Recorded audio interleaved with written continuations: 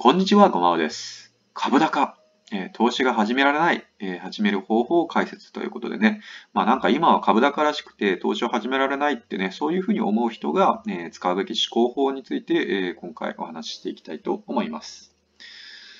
えこの動画はですね、え悩める会社員を救うお金の知識伝えますごまおがお送りしていきます。こんな方向けのね、動画にしてみました。え株で資産運用を始めたいけど、高値掴みはしたくないと、そんな風に思っている方、え投資で失敗したくない、えやったことないから怖くて始められない、えそんなね、不安を抱えている人に向けて、えま、どういう風に、あの考えていけば、まあ、始められるかっていうことについてね、お話ししていきたいと思います。結論からですね、思考の手順はこれということですね。えまず、現在地を確かめます。買ってすぐ株価が下がったら損だとね。こうやって、こういうふうに思ってるじゃないですか、今のね、状況ではね。で、ここから未来を予測していきます。株価が下がり始めたら、それはそれで怖いなというふうにも思うと思うんですよね。で、その対策なんですけど、ま定期積み立てだったら、株価が下がった時も買えるし、まあ、それ以外のね、まあ、株価があの高い時も買えるし、下がった時も買えるから、まあ、あのー定期で買うなら、まあ、いつから始めてもあの大差ないなと、その平均化されるんでね、えー、っていうことが、まあ、その分かると思うんですよね。それで思考が、まあ、ちょっと柔軟になるというか、思考が変化すると思うんですよ。だこんな風にして、えー、理論的に考えれば、あの必ずね、えー、投資って始められると思うので、まあ、そういうことについてね、えもうちょっと深掘りしてお話ししていきたいと思います。まずこれですね、現在地の確認です。買ってすぐ株価が下がったら損だというふうに思ってしまうっていうね、えー、この状況を確認しましょう。このね、あのー、まあ、最悪のパターンっていうことですよね。あのー、買ってすぐに株価が急激に下落したみたいなね、えこと、まあね、ありえなくはないんですよね。全然あり得ることだと思います。急になるリーマンショックみたいなね、えそういう経済的なあ動きが起こってしまったら、あのね、いきなり、あのまあ、今日100万円分ね、株買って、えー、明日になったらそのリーマンショックみたいなのが起きて、えー、急にあの30万ぐらいの価値しかなくなったみたいなね、えー、それ最悪じゃないですか。で、でも、まあ、その最悪のパターンを考えてい、考えておくっていうのは、それはもう正しいことなんですよね。えー、絶対考えておきつつ、まあ、投資を始めなきゃいけないと。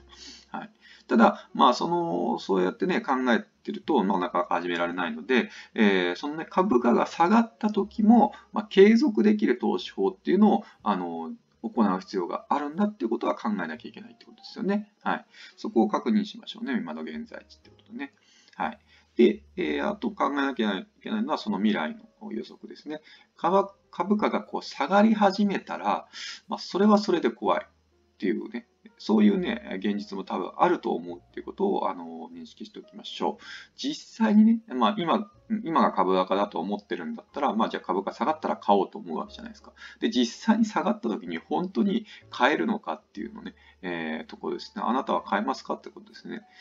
株価下がり始めたっていうことはね、まだまだ下がるかもしれないんですよ。うん、さっきの例だと、あの100万円分買って次の日に30万円になんか、ね、下がっちゃったですけど、そこからさらにまた10万円にまで下がる可能性って、まあ、ありえますよね。全然あります。まだそ今がそこだなんてね、え、誰にもわかんないですよね。はい。で、再びいつ上がるかなんてことも誰にもわからない状態ですよね。えー、で、こういう未来が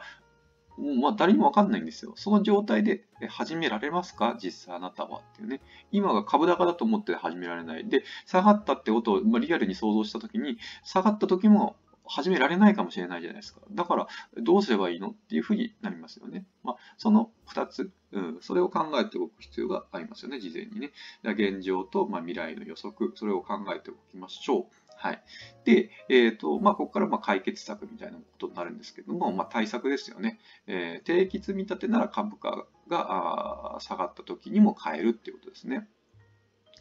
で、えっ、ー、と、まあ、ポイントは最初にね、まあ、毎月いくら買うかだけ決めておけばいいということなんですよね。うん。まあ、株価があいつ高くなるか、いつ低くなるかっていうのは分かんないってことは、まあ、そう高い時も低い時も買えばいいっていうことなんですよね。それがまあ結論なんですよ。だからもう最初に毎月いくら買うっていうことだけ決めておけば、その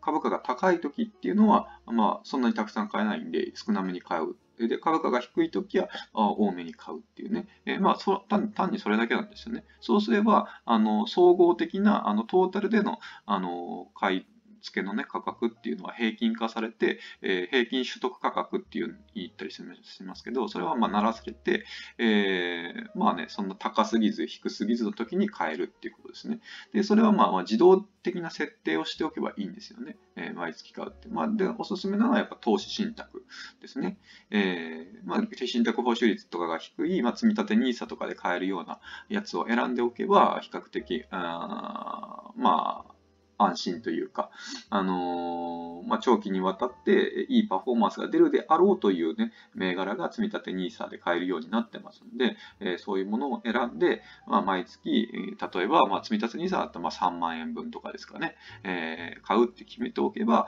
あの株価が上がった時、株価が低い時でも、ま、決められた額を買えるので、えそれでね、取得価格が平均化されるので、それでいいんじゃないかなというふうに思います。それがね、ま、対策、ま、唯一の対策とも言えるかもしれないなというふうには思います。はい。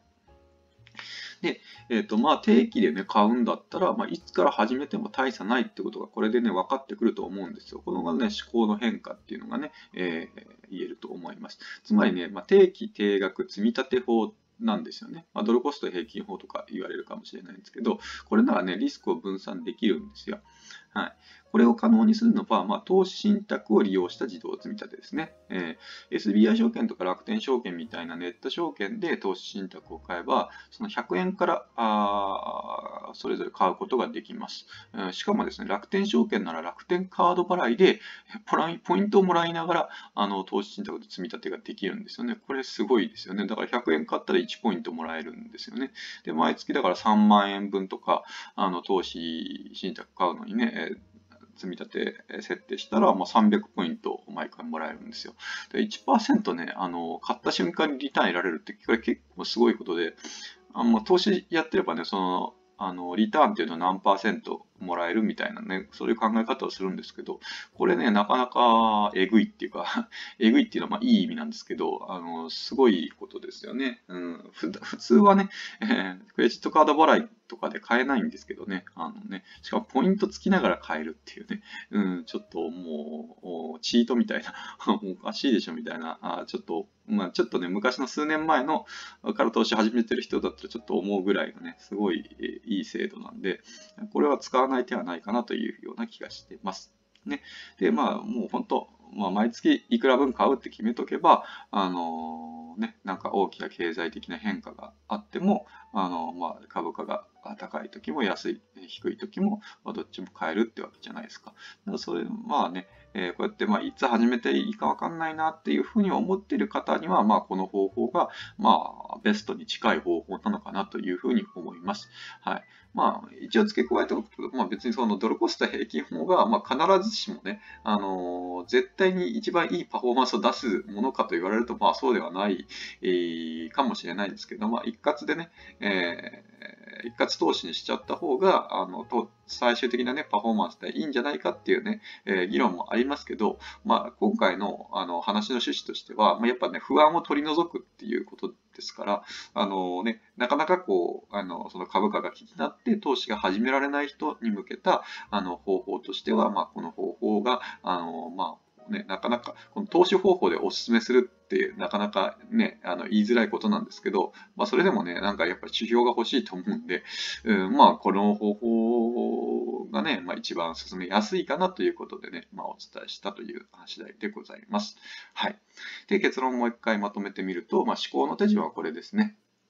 まあ、今の段階ではま買ってすぐ株価が下がったら損だというね、そういう気持ちがあると思います。それが現在時だと思います。でもね、えー、だとしてもね、まあ、実際か、今は買わずに株価が下がってから買おうと思っても、それ下がり始めたらね、それはそれで怖くて買えないと思うんですよっていうね、それが容易に想像できますね。未来予測としてね、想像できると思うんです。えー、だから、ま対策としては、もうその株価が下がった時も上がった時も、まあ、継続して続けられるあの方法っていうので、投資を始めないと、あの投資を始められないんじゃないかっていうね、えー、ことに行き着くと思います。で、定期積み立てだったら、その株価が下がった時も、あの買うことができるというね、そういう対策が思いつくのかなと思います。で、やっぱりこれをやるのは、まあ、定期定額積立法ですね。ドルコスト平均法っていうので、まあ、毎月3万円ぐらいを、あのこの投資信託を買うみたいなね、そんな風に自分で決めて、あの自動設定をしておくってことですね。自動設定をしておけばね、もう毎月もうこれだけ買うってね、もうもう自分の意思と関係なくあの積み立てることができるので、えー、それでね、えー、まあ、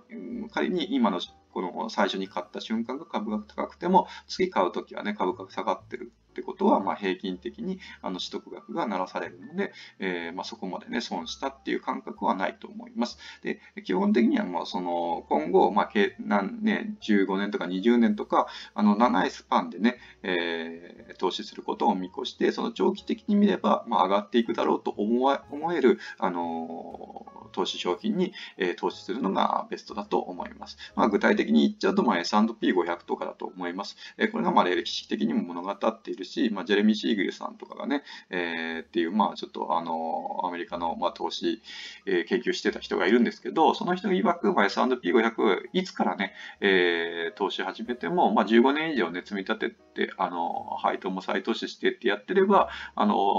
6、7%ぐらいのリターン出てますよっていうね、そういう話もしてしてるんで、まあそういうのをね、信,、まあ、信じるならなりますけど、まあ結局ね、アメリカも今後人口も増えていきますし、経済、世界経済引っ張ってるのはアメリカなんで、まあそこに投資していくっていうのが、まあ一つのね、まあ、最適解の一つかなというふうには思います。だからね、あのまあ、具体的な銘柄言っちゃうとま、楽天 VTI とか、あの、今、マクシススリム、S&P500 とか、あそこら辺ですね、え、そこら辺の投資信託に、え、コツコツ積み立てていくのが一番いいのかなと思います。で節電にもなるんでね、積み立てにさせた方がいいかなというふうに思います。はい。こういうね、思考を柔軟にね、変化させて、えー、理論的に考えれば始められることなのかなというふうに思いました。はい。以上がね、えー、まとめでしたね。え、こんな感じで、英語は、まあ、投資方法とか、ね、投資についての考え方なんかもあの随時、え、アップしていきます、え。動画は毎日更新しているので、チャンネル登録まだの方はお願いします。はい、で米国株の、ね、ETF、あの高配当の、ね、VYM とかのも保有してまして、まあ、これが一番好きなやつなんでね、馬をね、これについて一冊本書いたりしてるので、ぜひね、これもまだ読んでない方は読んでみてください。Kindle で読めますのでね。はい。そんな感じです。はい。ではまたね、明日の動画でお会いしましょう。バイバイ。